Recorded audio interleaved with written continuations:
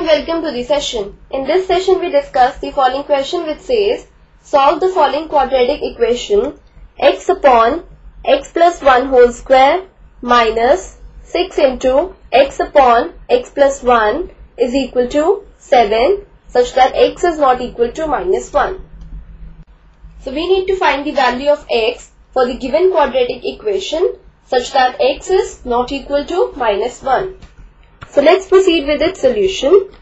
The given quadratic equation is x upon x plus 1 whole square minus 6 into x upon x plus 1 is equal to 7. Now first of all we assume x upon x plus 1 as y. So substituting x upon x plus 1 as y in this equation we would get y square minus 6y is equal to 7. Or we can say y square minus 6y minus 7 is equal to 0. Now we'll split the middle term of this quadratic equation. For this we need to find two numbers such that their sum is minus 6 that is coefficient of y and their product is minus 7 into coefficient of y square that is 1. So that is minus 7. So the two numbers that we obtain are minus 7 and 1 such that their sum is minus 6 and the product is minus 7. So we can write the middle term of this quadratic equation that is minus 6y as plus y minus 7y so we get the quadratic equation y square plus y minus 7y minus 7 is equal to 0. Now we will make pairs. So these are the two pairs that we have made. From the first pair we take out y common. Inside we would be left with y plus 1.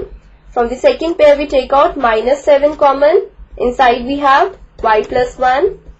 So we get y into y plus 1 minus 7 into y plus 1 is equal to 0 which means we have y plus 1 whole multiplied by y minus 7 is equal to 0.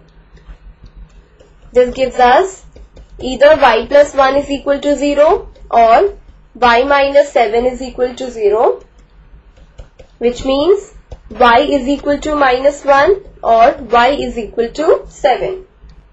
Now we had assumed y as x upon x plus 1. So this means we have x upon x plus 1 is equal to minus 1 or x upon x plus 1 is equal to 7. That is x is equal to minus x minus 1 or x is equal to 7x plus 7 or you can say 2x is equal to minus 1 or 6x is equal to minus 7. This further gives us x is equal to minus 1 upon 2 or x is equal to minus 7 upon 6. Thus, our final answer is x equal to minus 1 upon 2 or x equal to minus 7 upon 6. So this completes our session. Hope you have understood the solution for this question.